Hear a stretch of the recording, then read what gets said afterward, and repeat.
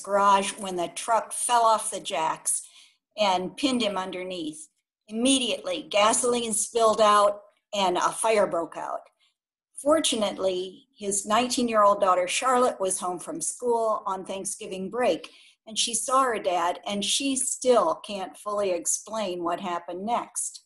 Using what she describes as some crazy strength, she lifted that truck off of her father and pulled him to safety. Then she jumped in that burning truck, drove it out of the garage, and went back into the house to save the rest of her family. Now, we've all heard similar stories, but how does anyone perform those feats of superhuman physical strength? Truly, we human beings are fearfully and wonderfully made.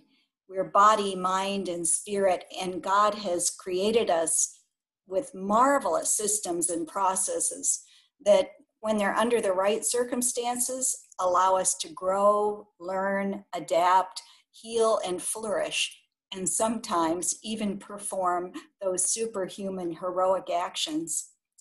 One of those processes built into us is the fight or flight response, the survival mechanism built into our bodies that enables us to respond instantly to a, an immediate real or perceived danger or threat. That process pumps the stress hormones, adrenaline and cortisol, into our bodies and prepares us quite literally to either stand and fight with everything we've got or run like crazy to get away from the danger. Now, this is what gave that woman that strength, because I've seen pictures of her, she's not very big, to lift that truck all the way off her father and save him. The fight or flight response is a marvelous tool for survival. That sudden rush of hormones is there when we need it, and normally it subsides after about 20 to 30 minutes after the threat's gone.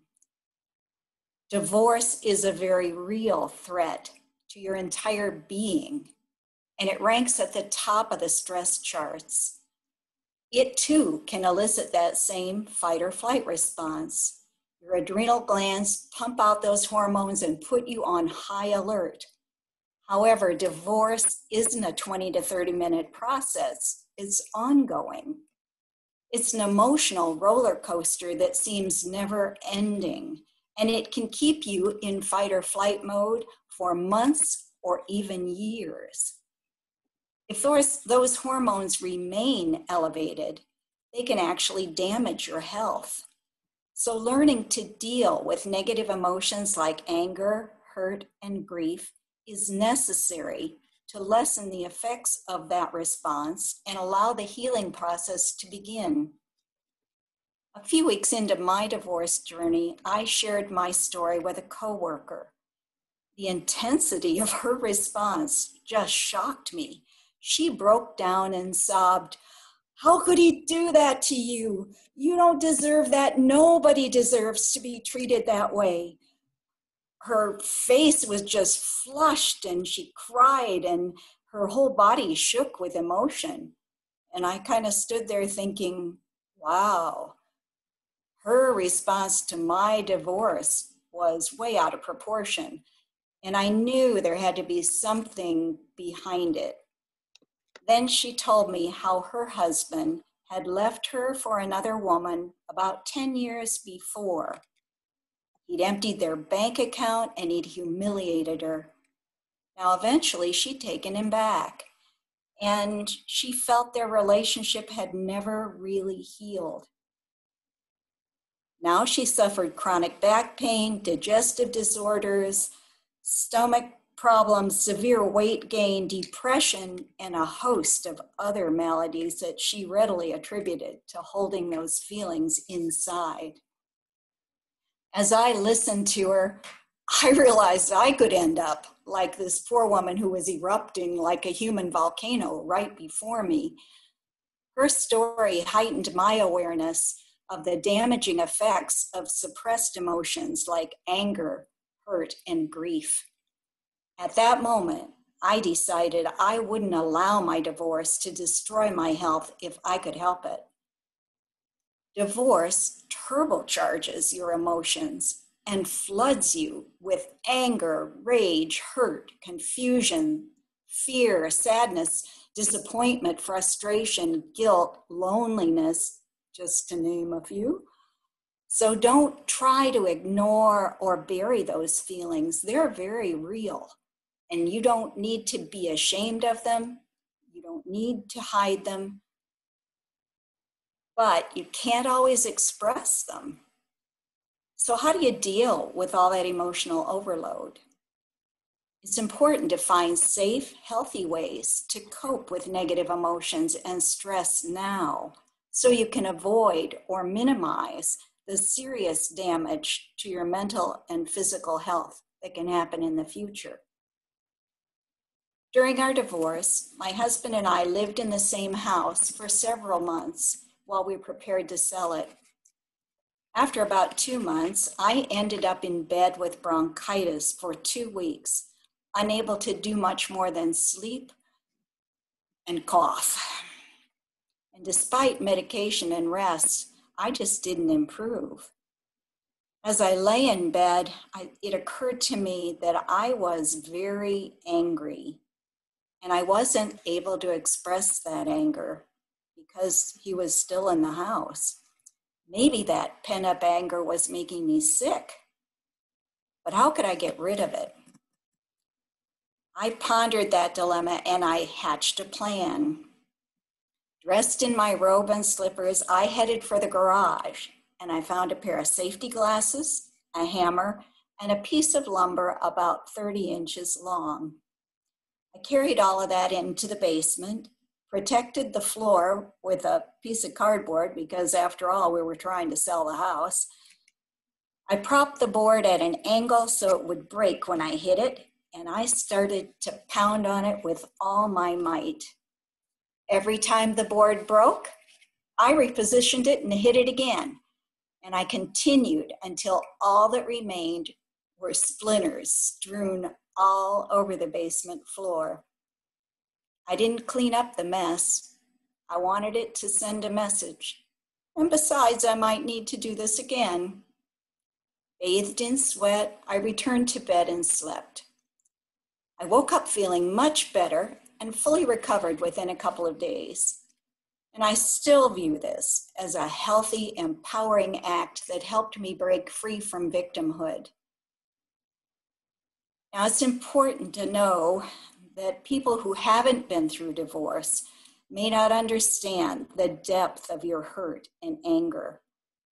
When I shared this story with a married friend who never had suffered that same level of betrayal, she actually took a step back, frowned at me, and suggested I might need some professional help with my anger. And I laughed and I said, Are you kidding me? That was the best anger therapy I could ever experience. Except for that bout with bronchitis, I took only one day off work for self care during the initial months of my divorce. Sometimes it was therapeutic to go to work and forget about everything else but I knew that type of denial was only a temporary fix. Eventually, I had to get away for some R&R. I wrote in my journal, I desperately need to take some long walks on a beach somewhere. A few weeks later, my sister and her husband invited me to vacation with them on Emerald Isle in North Carolina, and I jumped at the opportunity. I spent an entire week near the ocean with people I love and enjoy. We ate good food, drank good wine, rented movies every night, and just slept in every morning. But best of all, I got to take those long walks on the beach all by myself every day. You may not be able to get to the beach, but any change of scenery, a trip to a local park, a stroll through a garden, even a spin through the mall can help. We all have ways to cope with stress and negative emotions. Some of these can be helpful, but some can become lifelong problems. I have a friend who became a full blown alcoholic after her divorce because she used alcohol as a means to escape from and deaden her pain. I love sweets, particularly chocolate, and food's about the first thing I reach for when I'm stressed out. I also enjoy an occasional beer or glass of wine. In my emotional turmoil, I was tempted to reach for a drink or a giant hot fudge sundae or anything to comfort me and take the edge off of my pain. However, I realized that the breakup of my marriage was a greater trauma than I'd ever experienced, and it wouldn't be over for a long time. That realization forced me to recognize the fragility of my own health. Less than two years earlier, we'd moved both of my ailing parents into our house for six months and then into a nursing home. My father had died six months later. That year put a significant strain on my physical and mental health. It took months to get my blood pressure back under control, and I still would spontaneously break out in hives. I knew I needed to take the stress of my divorce seriously, or I'd be in big trouble. Short term feel good fixes, although sometimes necessary, could also create long term problems that would only make my situation worse. With those concerns in mind, I decided to pay attention to what I fed my body to make sure I ate healthy meals and limited my sweets. I made it a point not to drink alcohol during that time, except for an occasional glass of wine with family or friends. My brain was foggy enough without adding alcohol to the mix, and I certainly didn't need its depressant effects. The severe stress caused by the breakup of your marriage puts your overall health in danger. Sustained elevated levels of those stress induced hormones, adrenaline and cortisol, the body's fight or flight response, can put you at risk for high blood pressure, heart disease, lowered immune response, digestive disorders, headaches, and a long list of other health threatening conditions. Divorce steals plenty from you. Don't let it steal your health also. Our bodies speak a language all their own, and they often tell a story that reflects what's happening in our lives. For example, my husband's infidelity made no sense to me. And a few weeks into my own journey, I lost my senses of smell and taste. Visual migraines caused me to lose much of the vision in both eyes for about 30 minutes at a time, and sometimes multiple times a day. My sleep was erratic, interrupted by vivid, wild dreams that left me exhausted. Divorce made me lose my place in the world. And I also seemed to lose my kinetic sense, my sense of my body's position in space, physically as well as metaphorically. One week, I broke my big toe on the open dishwasher door, and a few days after that, I sliced open the back of my hand just reaching into a closet. A friend in healthcare cautioned me that high cortisol levels could be causing my symptoms. And she advised me that rest and exercise could help dissipate those levels. Normally, I'm not a big fan of exercise. In fact, I'm a bit of a slug. But my physical symptoms scared me, and I knew I had to do something to relieve them. So I found a small family owned gym that catered to the over, over 50 crowd where my cellulite and spider veins wouldn't look too out of place. And I signed up to meet weekly with a trainer. I knew I needed the accountability to make me stick to a program that would net the results that I wanted. And besides, it had been years since I set foot in a gym, and I had no idea how to use the equipment without risking injury or looking like an absolute fool. At the same time, I also added daily walks to my routine. Pretty soon, that regular exercise started to pay off.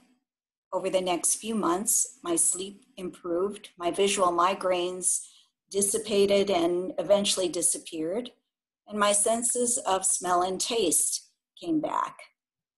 My overall sense of wellness and wholeness began to return to normal, and I started to feel more like myself. I even changed my mindset from I have to go to the gym today to I get to go to the gym today.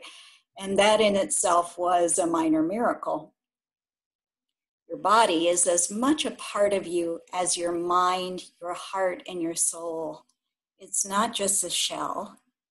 It'll be raised and glorified for all eternity. Even if you haven't been to a gym in years, take that first step to engage in some sort of exercise. You need to burn off those extra stress hormones. In the long run, you'll be glad you did. Now, all this is fine and good, but what do you do when everything is just too much? When the losses, the challenges, and the stresses sorrows of life just seem too overwhelming to bear, and you want nothing more than to crawl back into bed and pull those covers right up over your head. Once in a while, it's okay to do that. And in fact, it can be therapeutic. However, you can't stay there. Life goes on, and you must find your way back into it. Sometimes that means you take baby steps small, deliberate efforts to find reasons to stay in the game. An appreciation list can be a good start.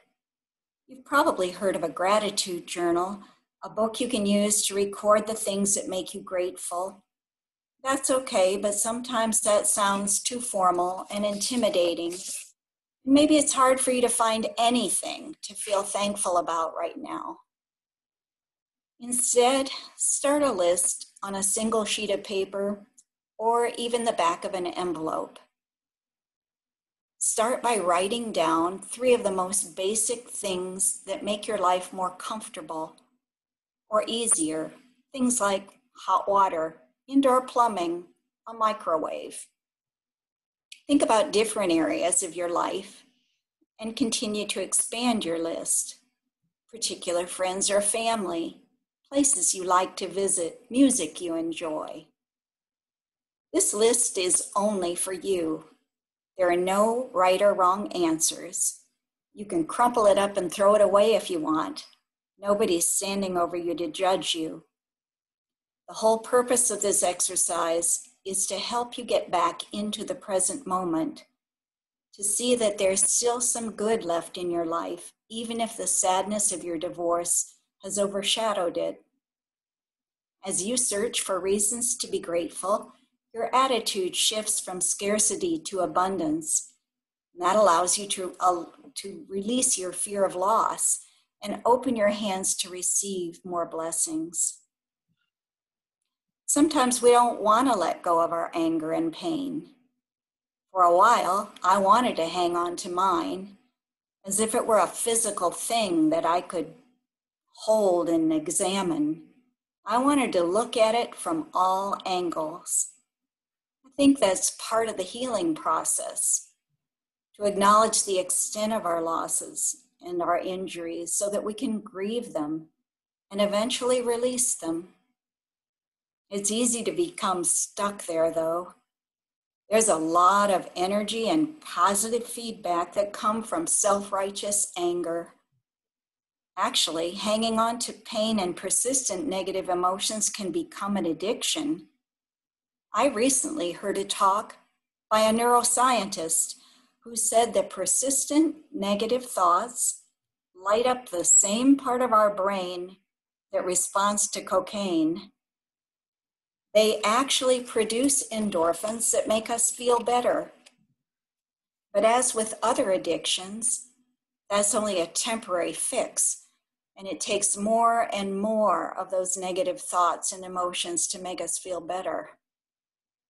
That may explain why some people still live in the pain of losing their spouse even years after their spouse has died or they've been divorced. And why some people choose to continually dwell on everything they've lost. It's easy to get caught up in negative thought patterns I had a terrible problem with imaginary conversations, and sometimes I still battle them. Typically, I'm on autopilot in the morning when I first wake up. My husband and I used to shower together every morning, and so it's not surprising that my mind plays imaginary conversations during my morning routine. And that used to go on almost for two years after my divorce. The same mental monologue would kick in. I'd address him with a few choice words and then berate him for his behavior and ultimately always end up with that same question why? That constant mental battle exhausted me. And it set a lousy tone for the rest of the day, but I couldn't seem to break that, st- that cycle. Eventually, I stuck the words, let go, on my bathroom mirror in little pretty blue plastic letters. But even that didn't stop the script that played in my head. Was it me? Why didn't you love me? What's wrong with me? My ego had taken a huge hit. One day, as I stepped out of the shower, I heard birds singing outside my bathroom window, and their song was beautiful. I stopped to enjoy it, and it occurred to me that they'd probably been singing there many mornings, but I'd failed to hear it because I was listening to all those negative thoughts and imaginary conversations playing in my head. What else had I missed? Well, I'd allowed those negative, unproductive thoughts to hijack my mind. Maybe it was time to make a conscious effort to control my thoughts rather than relinquish that power to forces that always led me into a downward spiral. I resolved to fight back and be intentional about my thinking and mindful of my surroundings. I tried to engage my senses during my morning routine. A shower, soap, lotion, cosmetics, those are all very sensual experiences when I don't drift into autopilot. Imaginary conversations and negative thought loops can't kick in as easily if I stay aware of my environment. And when they do invade, I consciously reroute those thoughts to the luxury of the warm water on my skin, the fragrance of my shampoo, the softness of the towel, anything that brings me back into that present moment. Sometimes I add music or a podcast to the experience, but I, I still listen for those birds outside my window. So, what are the takeaways from this talk? Number one, divorce turbocharges your emotions, and that stress activates the fight or flight response in your body. Number two, the ongoing flood of stress hormones can have serious long term negative effects on your physical and mental health. Number three, you can make healthy choices to dissipate those hormones and minimize their harmful effects. And number four, you can break the cycle of negative thoughts and emotions and imaginary conversations. My book, You Are Still Beloved, goes into all of this in more depth. And on my website, I have a free guide that says seven actions to help you heal. We think of the heart as the seat of our emotions. After divorce, your heart's bruised and broken and your emotions are in a state of turmoil. But you can make choices to help you heal in body, mind, and spirit. Place your wounded, scared, and scarred heart into the pierced, sacred heart of Jesus and ask Him for healing with this prayer A clean heart create for me, O God, and a steadfast spirit renew within me. Thank you. Thank you so much, Mary Jo. Uh, so what I'm going to, do this I'm going to turn off the